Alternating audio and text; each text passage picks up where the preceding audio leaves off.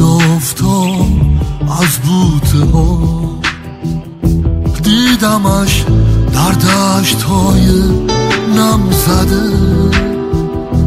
مست اندوه تماشا یار با مویش افشان گونش شبنم زده.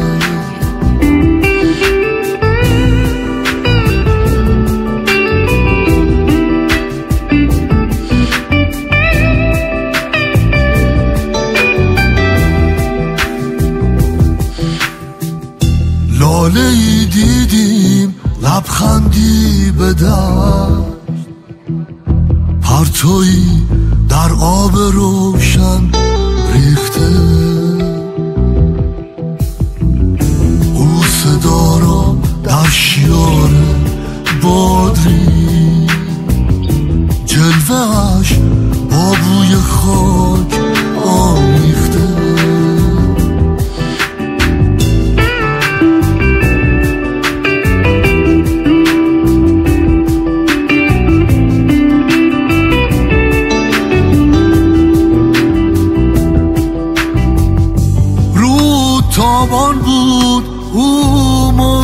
صدا خیره شد چشمان ما در رود و پرده روشن بود او تاریک خوان درها در دست دارد دود و